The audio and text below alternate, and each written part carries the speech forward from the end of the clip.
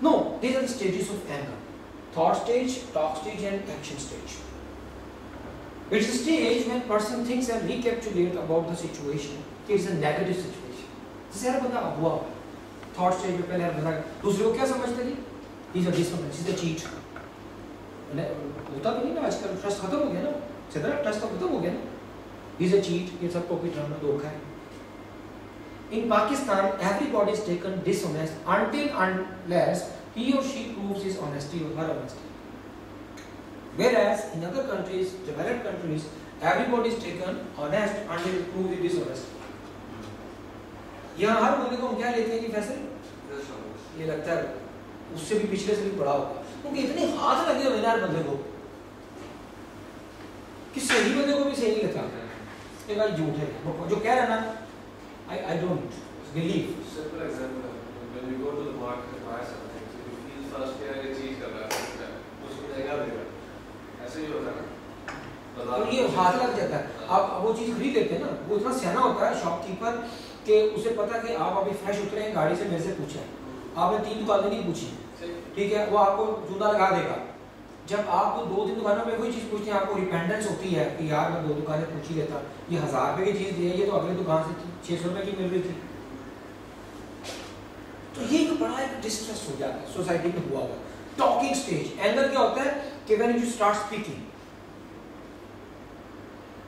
with angry tone हर बंदा नाराज़ है, किसी से पूछो, भाई किधर जा रहे भाई साहब, वो तीन बंदे होते हैं ना, मजदूर बैठे होते हैं, काम कर रहे होते हैं। एक बंदा गुजरता है, ऐसा जैसा कोई नौजवान गुजरता है। भाई, क्या कर रहे हो?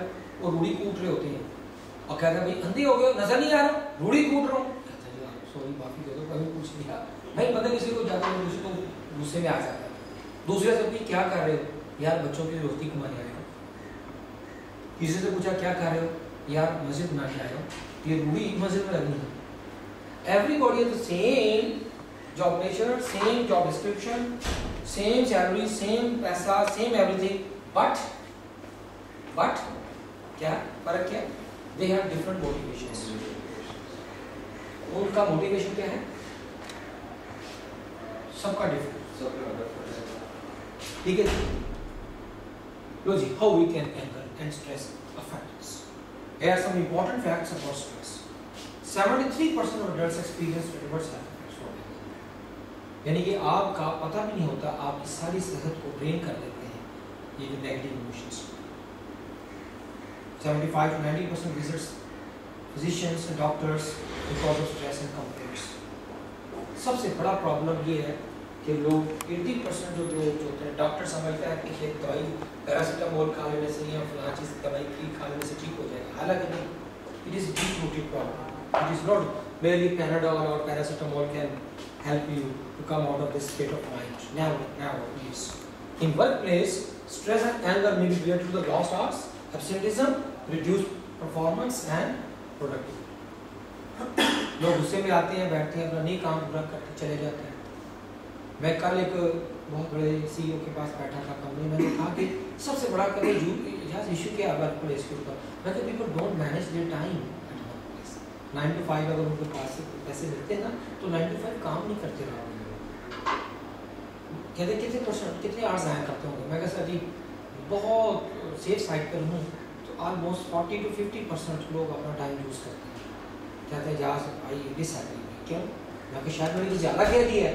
कहते हैं एटी परसेंट लोग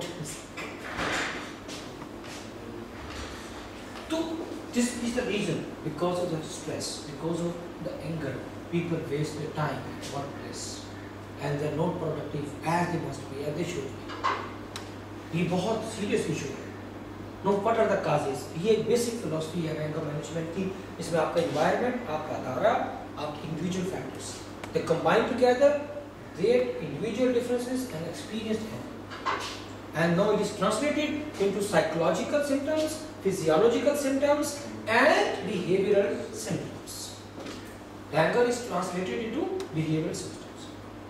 ठीक? No what is the role of environment? Let's start. हम दो जो इसकी काजेज देख रहे हैं, इसके सिम्टम्स आपको देख फिलोसफी क्या होती है, हमने देखी अब आगे की तरफ़ प्रोसीड करते हैं। सबसे इंपॉर्टेंट चीज़ इन्वायरमेंट है प्लेस इन अवर एंगर ये यू है. दिस इज़ यू ये फैसल है, ये असलान है। ठीक है? ये सिदरा है। ठीक है? अभी तो आपने शुरू किया ना, अभी तो ज़िंदगी देखिएगा क्या क्या होता है। ये लोगों का बिहेवियर है। ये नेगेटिव वर्क इन्वायरमेंट है नेगेटिव वर्ल्ड व्यू है ये चेंजिंग इन्वायरमेंट है, ये पास्ट एक्सपीरियंसेस है। ये डिटर्मिनिज्म चाहिए कि मेरे साथ ये ऐसे होना है। ये इतने मुख्तलिफ़ सिचुएशंस है सैलरी नहीं मिल रही टाइम पे नहीं मिल रही, और बीड़ा एजेंसी में सैलरी टाइम पे मिलती नहीं है। ठीक है ना तो ये सारे फैक्टर्स इन्वायरमेंट में मिलकर अटैक करते हैं आपके to make you angry make you stressed out ये इन्वायरमेंट है। नेगेटिव वर्क है। हर बंदा दूसरे आगे निकलने की कोशिश कर रहा है। जो भी मर्ज़ी आप कर रहे हैं भाई साहब जितना मर्ज़ी अच्छा डिज़ाइन डालें एप्रिसिएशन नहीं मिलती। वेरी रेयर कोई चाहने वाला कदर करने वाला आपके आर्ट वर्क की कदर करे क्या खूबसूरत डिज़ाइन बनाया है। जी वो कहते जी आपको मुझे पैसे देते हैं काम करना आपका काम too much work, deadlines, and sometimes very unrealistic, long hours, budgets constraints, competition, and poor direction and job insecurity. लगेगा शायद मैंने सिनर्जी के सारे पार्ट्स लिख दिए ऐसे तो नहीं. नहीं मज़ाक हूँ। Yeah, they're interesting. I, I just, I just being honest. नहीं मैं मैं I, generally, I'm just being honest. Yeah. Uh, एक competition और most सारी जो आपने चित्र लिखे हैं, very true. Yeah. But not only here, but a lot of places here. But dead on. Okay people behaviours क्या होता है? कोई पीछे से आपकी आँखें छुरी मार देता है।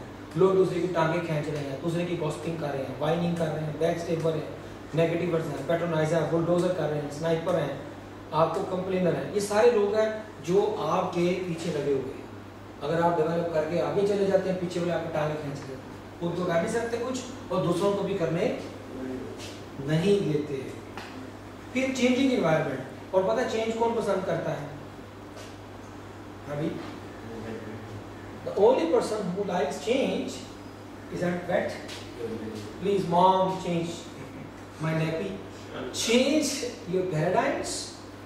Change alter the way we look at things makes life more difficult and causes stress and anger. This is the reason. Change itself is a bigger stress. And it is only one. It is not uh, past experiences. Accepting that change itself is a very stressful बहुत मुश्किल situation. ठीक है अब्बा जी को accept कर लेना कि मेरे अब्बा जी बड़ी मुश्किल। कई लोग तो मानते नहीं आजकल की मॉडर्न वो लेवल क्लास ना लेवल क्लास अब्बा पिंड से आया बंदे आता है। और वो लेवल जैपस में पढ़ के अंग्रेज़ी बोलने वाले फटाफट हैं अमेरिकन मुँह टेढ़ा करके एक्सेंट के साथ। अब्बा बेचारा देसी है पंजाबी है सिंधड़ी है बेचारा रूरल एरिया का है। तो वो बच्चे को जो मॉडर्न है जो मम्मी डैडी बर्गर बच्चे करते हैं आजकल डब रोटियाँ खाकर। अब वो कोई पढ़े लिखे वो बच्चे आगे अंग्रेज़ी बोल रहे हैं आपा जी जरा सादे कपड़ों में आपा जी जरा प्लीज़ उधर हो जाइए थोड़ी शर्म आएगी कहीं मेरा देखना लेके कितनी तकलीफ़ होती? है आपा जी को इंट्रोड्यूस नहीं करते आपा पेड़ में और वो अंग्रेज़ी बोल रहा है आपा जी को समझ नहीं आएगा क्या बोल रहे हैं? बड़ी मैंने अजीब सी सिचुएशन देखी है। अपनी जबान नहीं बोलती यार क्या कॉम्प्लेक्स है यार इतना इन्फीरियोरिटी कॉम्प्लेक्स आपको? दुनिया में तो यार सारी दुनिया को लोग कौन अंग्रेज़ी बोलती हैं इंडियंस बोलते हैं जापानी बोलते हैं जर्मन बोलते हैं बिज़नेस पीपल बोलते हैं, लेकिन ऐसे नहीं कॉम्प्लेक्स का शिकार जैसे हम अनफॉर्चुनेट मैं दस साल अंग्रेज़ी पढ़ाता हूँ, मैंने पहला इंग्लिश लिटरेचर में मास्टर्स किया था। दस साल में इंग्लिश लिटरेचर पढ़ाया मैंने। और मैं कहता था, यार देसी जबान में अंग्रेज़ी लिटरेचर पढ़ो मेरे से, मैं लैती नहीं पढ़ाऊँ हाँ सही पढ़ाऊँगा, ये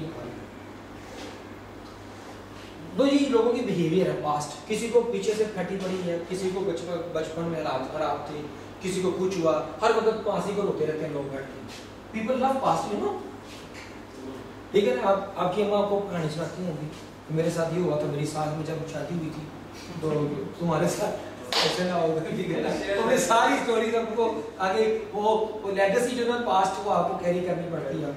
ठीक है तो हालाँकि अब क्या एक बड़ा अमेरिका क्या है। एक बड़ा सिनर्जी में काम कर रहा है। एक जनाब जी, एक बड़ा जनाब जी डांस में पढ़ने गया हुआ है। ठीक है? और रो रही होती है। मेरा बचपन बड़ा बुरा गुजरा जी, अब तो ठीक है ना। तो पास जो ना, वो भी स्ट्रेस देता है। फिर नेगेटिव सबसे बड़ा जो रोल है ना, वो मीडिया का। Violence has direct correlation with the media look at what you are looking at ये सबसे बड़ी सच है कि सबसे ज़्यादा एंकर जो है ना, वो हमारे मीडिया ने हमें डेवलप किया। एक खबर को इतनी दफ़ा ब्रेकिंग न्यूज़ अब तो ब्रेकिंग न्यूज़ की चार्ज खत्म हो चुका है। अब तो हर एवरेज दो मिनट के बाद ब्रेकिंग न्यूज़ आती है। After average two two three minute से ब्रेकिंग न्यूज़ आती है।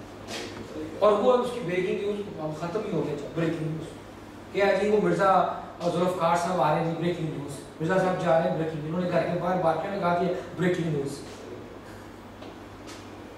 अच्छा मीडिया फिर डिटर्मिनेशन थ्योरी ये भी बहुत रोल प्ले करती है. Genetically my grand pop grand mom did it to me inherited trait ये गुस्सा इसलिए आता है कि मेरे दादे को आता था। हमारा खानदानी गुस्सा खानदानी गुस्सा जनाब पृथ्वी को आता था। चाचे का गुस्सा बहुत आता है। ठीक है? फिर फिर इसलिए गुस्सा आता है कि अम्मा अब्बा की बनती नहीं थी। वो आपस में लड़ते रहते थे। My parents are responsible for my anger and my stress और ये आपको उसकी बात पर बुरा नहीं मानिएगा। एक बहुत बड़ा सच है कि जिनके माँ बाप के रिलेशन अच्छे नहीं होते, आपस में अच्छे, उनकी कपल नहीं होता वो हर वक्त बेचारे हर वक्त कॉन्फ्लिक्ट में रहते हैं, सारी ज़िंदगी उनके बच्चे अपनी पर्सनैलिटी कभी भी पूरी नहीं करते उनकी कभी पर्सनैलिटी स्ट्रॉन्ग नहीं होती बच्चों की। हमेशा एक, इस सेंस ऑफ़ इनसिक्योरिटी बच्चों में रहता है, जिनके माँ बाप नहीं ठीक होते रिलेशनशिप और बदकिस्मती कि हमारे मुल्क माशरे में? शादी जैसा सेक्रेट जो इंस्टीट्यूशन है, वो अब बिज़नेस बन गया है। अब शादी बिज़नेस है, ऊपर जाने के लिए। इसलिए कहते हैं, आपके अब्बा जी, अगर अगर गरीब है तो सारा कसूर इसमें आपका कोई कसूर नहीं है। अगर आप सुसर जी गरीब है, सारा कसूर आपका है। सब लोग अब अमीर सुसर की तलाश में हैं।